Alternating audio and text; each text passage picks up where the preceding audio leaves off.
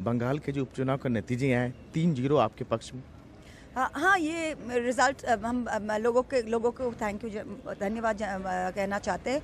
और हमारे मुख्यमंत्री मुख्यमंत्री ममता बनर्जी जो काम की है हमारे जो डेवलपमेंट हुआ है बंगाल में एक साइड में बंगाल में जो डेवलपमेंट हुआ है दूसरी तरफ़ हमारे वर्कर्स जो है वो इतना काम किया उनके लिए उनको भी मैं धन्यवाद बोलना चाहती हूँ। लेकिन बीजेपी ये कह रही है कि चूँकि वहाँ पुलिस प्रशासन का फ़ायदा मिल गया इसी वजह से उपचुनाव को लोग उतना गंभीरता से नहीं लेते हैं। अब हम तो कह रहे हैं अब ऊपर से हाथी जा रहे हैं नीचे कौन कह रहे हैं उसका जवाब देना मेरा काम नहीं है जी। एक अंतिम सवाल कि उनका ये भी कहना है कि दो हज़ार इक्कीस का जो चुनाव होगा वो ये सारे मुद्दे लोग भूल जाएँगे बहुत एक साल दूर है हाँ, ठीक है वो वो तो फिर सब भूल जाएँगे छप्पन इंच अस्सी इंच सब लोग विश्वास कर लेंगे उन लोग फिर आ जाएँगे फिर देखेंगे क्या होता है इक्कीस में। हम ये कि आज हम यहाँ खड़ा होकर कह के जा रहे हैं कि ममता बनर्जी सरकार इक्कीस में वापस आने वाली है।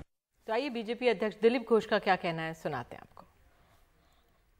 ये उपचुनाव है इसलिए उपचुनाव में लोग उतना सीरियसली ले लेते हैं मैटर को और जो सरकार होती है वो अपना सारा सुविधा लेती है उसका एक प्रभाव हुआ है। कहा ही जा रहा है कि ये टीएमसी की ओर से कहा था कि सेमीफाइनल जीत गया और फाइनल भी जीतेंगे 2021 का। सेमीफाइनल तो हम जीते हैं बयालीस से बाईस ले आए लोकसभा में उपचुनाव सेमीफाइनल था और हमने स्लोगन दिया था उन्नीस में हाफ़ और इक्कीस में साफ़ आपने हमने किया है।